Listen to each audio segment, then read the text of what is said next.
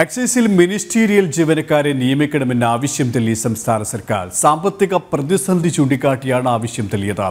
ഇരുന്നൂറ്റി നാൽപ്പത്തിനാല് പുതിയ തസ്തികൾ അനുവദിക്കാൻ കഴിയുന്ന സാമ്പത്തികാവസ്ഥയിലല്ലെന്നും സർക്കാർ വ്യക്തമാക്കുന്നു. ഉത്തരവിന്റെ പകർപ്പ് ജനം ടി വിക്ക് ലഭിച്ചു.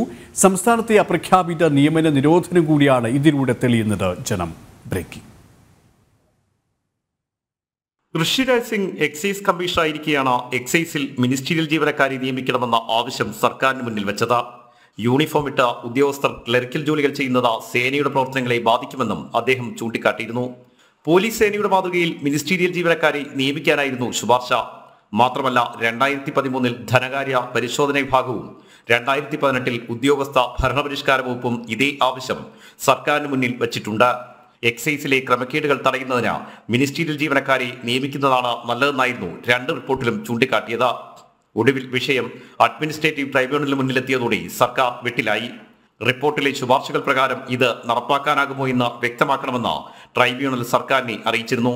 ഇതിൽ മറുപടി നൽകുന്നത് നീട്ടിക്കൊണ്ടുപോകാൻ സർക്കാർ ശ്രമിച്ചെങ്കിലും കോടതി ഇലക്ഷൻ നടപടികൾ നേരിടേണ്ടി വരുമെന്ന മുന്നറിയിപ്പിനെ തുടർന്നാണ് ഉത്തരവിറക്കിയിരിക്കുന്നത്.